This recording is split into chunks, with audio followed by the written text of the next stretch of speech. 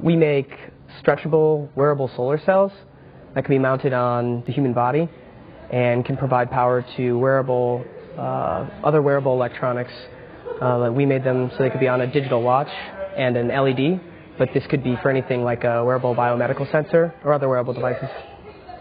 So the previous state of the art, the material that uh, we actually compared them side by side, um, it was after five to ten cycles, the solar cell was destroyed and uh, the ones that we created were able to sustain power conversion after over a thousand cycles. So after a thousand cycles, they were still um, they, they still retain most of their ability to, to turn sunlight into electricity. I think that the, the greatest challenge of our time is is the way that we acquire energy, acquire uh, the way that we acquire and distribute energy, and um, I, I honestly believe that if, if the human race doesn't get a grip on on the way in which we do this, we're going to play the end game for all of us. And I really think it's the greatest challenge of our age because if we pass this down to the next generation or, or the one beyond that, then time is out.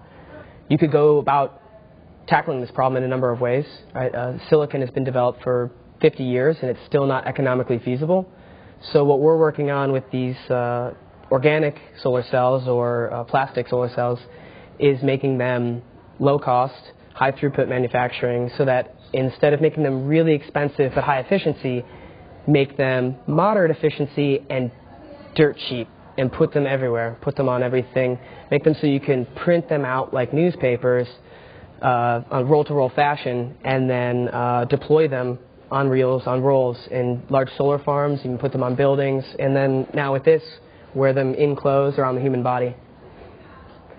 Uh, we want to use uh, inkjet printing or digital patterning in order to build something like a solar tarp, which would be a, a robust electronic material that you can roll up and deploy in the field, maybe uh, for defense or disaster relief.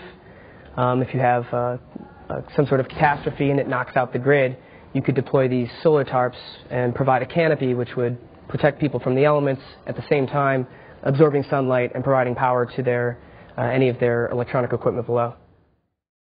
Uh, so if we could print our solar cells from an inkjet printer using water as a solvent, uh, that would give, it would not only be a responsible way for us to acquire energy from solar energy, but also it would be a low cost and environmentally friendly way to produce them. Uh, so this is just one aspect of what we work on in the lab. Uh, it's a huge aspect of what we have worked on. Renewable energy has been uh, one of the main drives for our research. Initially, I wanted to, I set out to do all this research and, and all this to create uh, commercializable technologies. Uh, it's, it's really fantastic the things that we build in the lab, but unless we can bring them out to the world, we can't make that impact that we really hope to. Uh, so I've uh, studied physics and business uh, when I was in, un in undergrad and went on to do my PhD so I could be on the forefront of technology.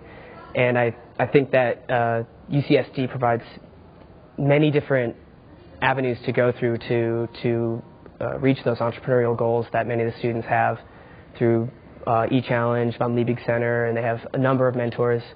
Uh, it would be great to, uh, to work with them in, in order to commercialize this technology.